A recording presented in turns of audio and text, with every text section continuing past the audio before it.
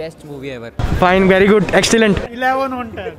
What's happening? They're starting to come through and I can't stop them. I've never seen anything like this. Animations, effects, everything 10 on 10. What you were expecting, we will get it. Storyline of the movie was great. The movie overall was a banger. I really enjoyed the movie. It was great. Somehow I got a bit of emotion in that scene. Spider-Man No Way Home and it has to be the most hyped movie of 2021. Give us goosebumps. Just be mesmerized at the end. What do you mean?